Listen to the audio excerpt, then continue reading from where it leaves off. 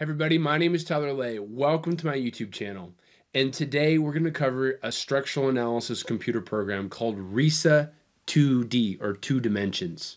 This is great if you're working on structural analysis homework, for example, and you want to check yourself.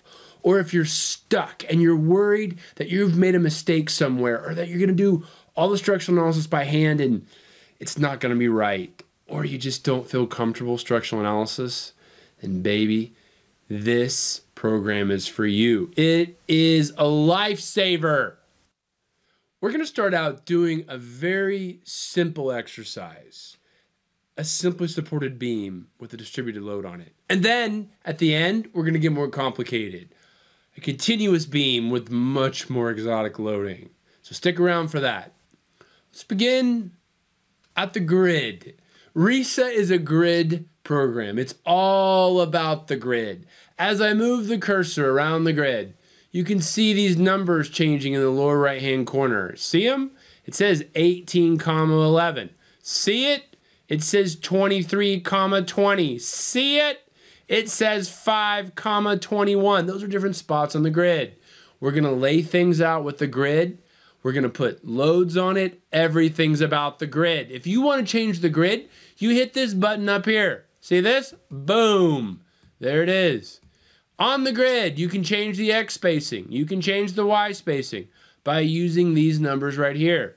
Type in whatever you single want, and then you hit OK, and it draws it for you. Now we're going to draw a member. Let's come over here to this button. We click it.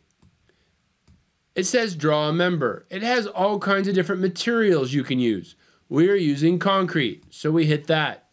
We can change our concretes, different strengths if we want. We're leaving it simple. RISA is kind of complicated, but it, let's use it to be pretty simple at first. Let's assign a shape. We hit this button here, and we can assign whatever one we want. We want a rectangular shape or a circular shape. Let's do a rectangular one. This D is 8, W is 8. That's fine. Shows you pictures down here. D is the depth, W is the width. That's fine. Let's just go with that. So we've got our cross section in. Everything's ready to go. Let's draw. Hit apply. So I'm going to start drawing a member. I'm going to go 10 feet over. Uh, 10 feet over. Look at my lower grid. I went from 019 to 1019. Click. Now, if I want to stop drawing, I hit the right click. Click. And it's there. I've drawn a member. Hooray! Next, we need boundary conditions. We come over here to this funny looking button. It looks like a pencil drawing a triangle, a boundary condition. So we can pick whichever boundary condition we want. We want a pin on one side, click, and look at that, it changes. My X translation, my Y translation, then I hit apply. And I come over here and I click, and look at that, it drew me a pin. How beautiful. I click it again, and I want a roller now. I hit this button, hit apply, pa-pow, roller. That's how RISA draws rollers, these funny looking slider things, okay? It means it restrains it in the Y direction. Awesome. We have our boundary conditions. We have our member drawn. We need loads, okay? There's four ways to put loads on members in RISA. There's joint loads. That's where you apply a load to a joint. It's pretty easy. You put the load comment, you put the amount in, you hit a joint, you're there. There's distributed loads. We will be using this. But there are also something called point loads along the length, and you can also get moving loads. What? Yeah, for bridges and things like that, you can have trucks like drive over the surface of your concrete. Oh, cool, right? Let's do this one for fun. Let's apply a point load. Now, we're going to use basic load case one. That's where we kind of organize our loads. We're going to put them in, in number one. Now, the direction. This is a little bit strange, but we want the big Y. It means the global Y. Capital letters mean global. So we want the big Y. And let's, for fun, let's put in negative 10 kips. Voila! Now let's put in the location. Now we could actually put in a length, or we could put something else that's pretty cool. We can tell it, do we want it at the quarter point, at the half point, at the third point, or at some other point? Let's do quarter point. So that would be 25% away from the left hand side. So let's put percentage to five. Kapow! Now, Let's hit apply. Let's click. Kapow! It put a member that's negative 10 kips at exactly 25% of the span length from the left-hand side. And I can solve that, but that's not the problem I want. You know what the cool thing about this is? I can just hit Control Z and this will go away. I'll show you. Pow! Undo. It still works. How cool is that? Let's do a distributed load now. hit this button here. It's going to go in the global Y. We're going to use basic load case 1. Let's make it negative 10 kips. What would have happened if I would have hit positive 10? Well, it would go up.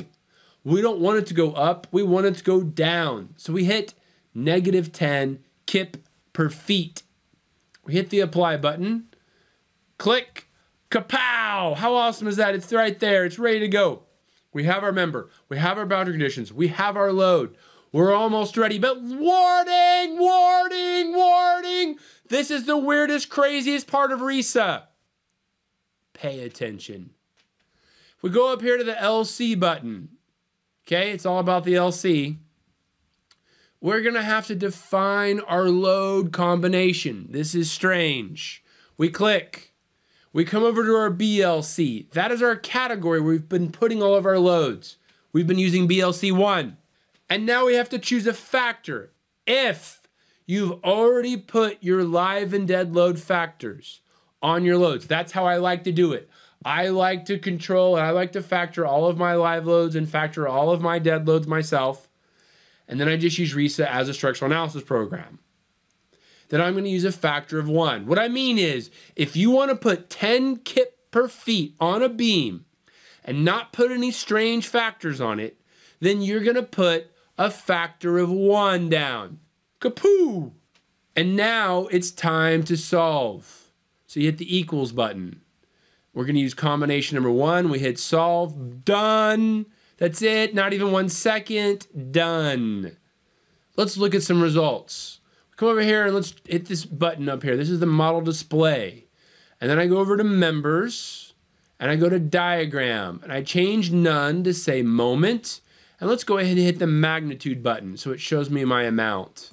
And look, it shows me my beautiful moment diagram. You say, whoa, it drew it wrong. Yeah, it draws it on the opposite side. Let's look at a shear diagram. We hit the shear button. Boom. It draws it. It draws this one on the right side, on the correct side. The shear diagram is correct. That's pretty cool, right? We can also make our loads go away, as in not show them. They're still there, we just don't show them. Hit the button, hit loads, say don't show loads. That was just under the loads tab right here. I hit apply and look at that, the loads disappeared. They disappeared. There's more information.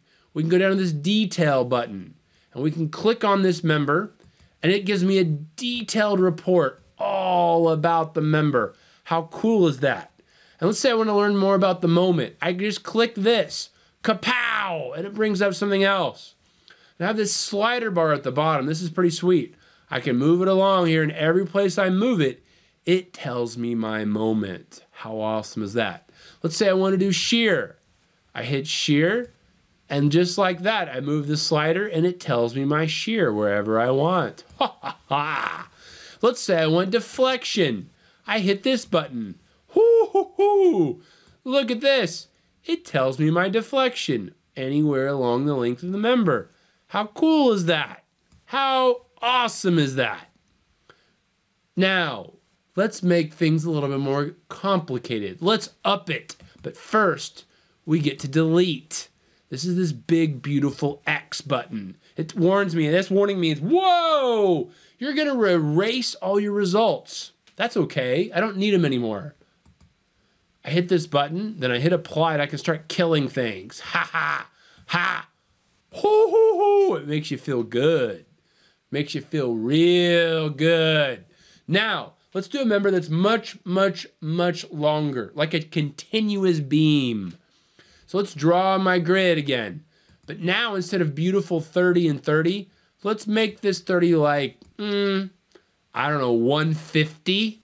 Then let's hit OK. Oh, look at that. Look at that beautiful grid. Do you remember what to do next? oh yeah, I've got to draw a member. Now I can draw it wherever I want, and for fun, I'll change my cross section. Let's make my depth, I don't know, 20 inches. Now let's hit OK.